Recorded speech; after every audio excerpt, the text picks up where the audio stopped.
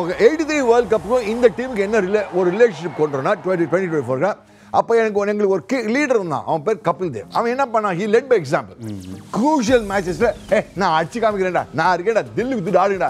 Seventeen five eighty one seventy five நான் அடிக்கிறேன் நான் சுத்துறேன்டா.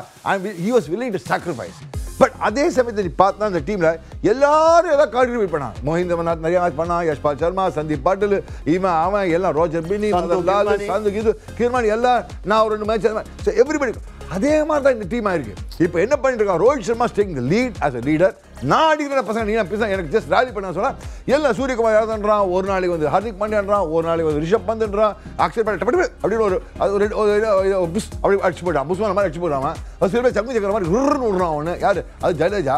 அங்கே போட்ட குல்தீப் தான் சங்கு சக்கரம். ஜுர்னு போடுறான். அந்த பசங்க என்ன பண்ணுறது தெரியாது. அதே மாதிரி அப்புறம் டப்பட டப்பட டப்பட இருபத்தஞ்சு ரெண்டு முப்பத்தஞ்சுன்னு அதெல்லாம் வந்து ஊசி பட்டாசு. யார் இது? நம்மளோட ரிஷப் பந்த் அந்த மாதிரிலாம் இருக்குது ஸோ எல்லோரும் ராலி பண்ணுறாங்க அதெல்லாம் என்ன நம்ம நம்மளோட combination as a combination India batting bowling fielding ஐயோ இந்த மாதிரி கேட்ச் அப்படின்னா ஆஸ் அ காம்பினேஷன் நம்ம ரொம்ப ஃபார்மிடபுளாக இருக்கும் அந்த அளவுக்கு ஃபார்மிடபுள் நீ சவுத் ஆஃப்ரிக்கான்னு சொல்ல முடியுமானா? முடியாது.